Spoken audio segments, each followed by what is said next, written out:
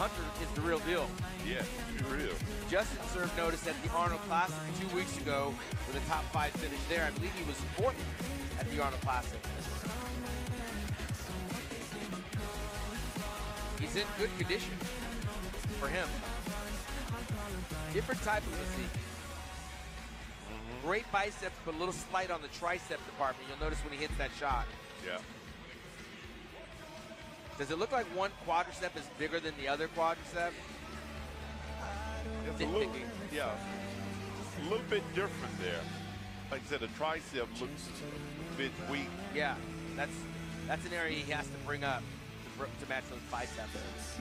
This is his third Olympia appearance, and it looks as though he's been climbing up those ranks. And of course, he's looking to do that again today. Yeah, he'll be China tomorrow also.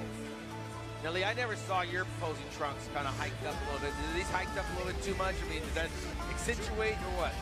I don't know. I, I mean, know, could you do it? Would you have done it? I see it a lot. You're gonna see it a lot well, this too. is a whole nother era, man. okay, I, I, I, was, I never did it. That's all I'm No, saying. I never did it either. But today it's fashion. A lot of guys are doing it. I think I you think even saw. William Bonac try it, huh? I guess it's for to show glute striations, I guess, you know, to maximize Thank that. you, Justin That's what I would Rodriguez. think, you know. Yeah, the shorts have gotten much smaller since you retired. But Right.